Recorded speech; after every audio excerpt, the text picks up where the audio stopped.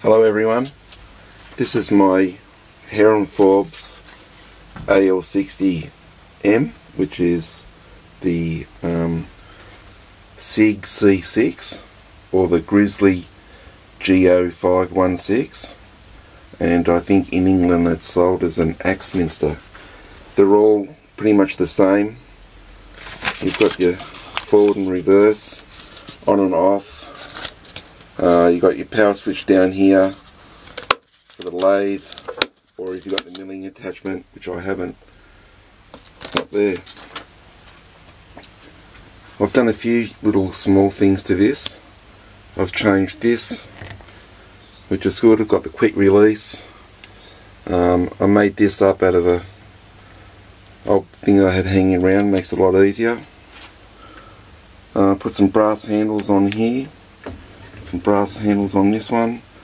I've made this stop, which I, I use this stop all the time. I found this really easy for a saddle stop. Um, this, I know a lot of people don't like these.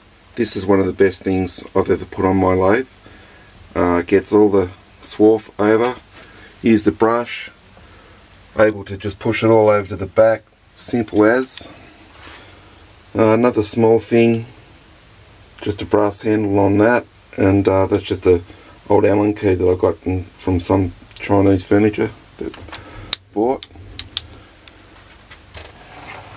This is handy what this was, this was just a, I drilled that, put a pin in here, that goes like that.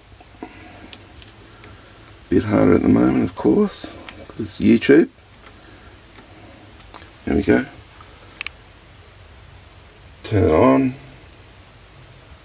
zero it. Fantastic. Having the DRO on the tailstock it's been a burn. So if anyone's got any type of lathe and you haven't got a DRO on here, try and get one. It really makes a big difference. All in all, these are a, a really handy lathe. There's a bit of a shot of the whole thing. I've done a lot of steam engine builds. Not on actual whole steam engine builds, I will have to take that back and say I've done a lot of repairs for small model and toy steam engines using this small lathe.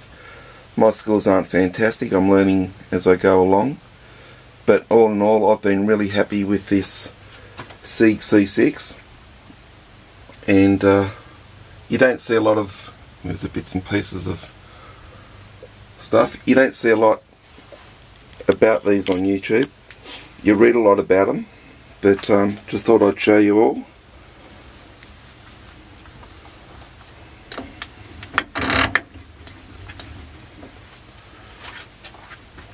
bit more.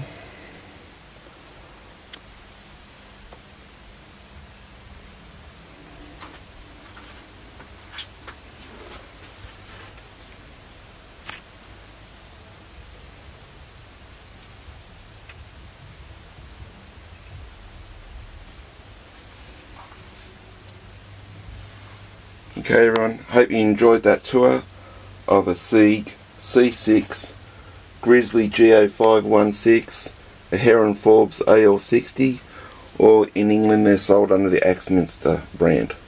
Thanks for looking. Bye now.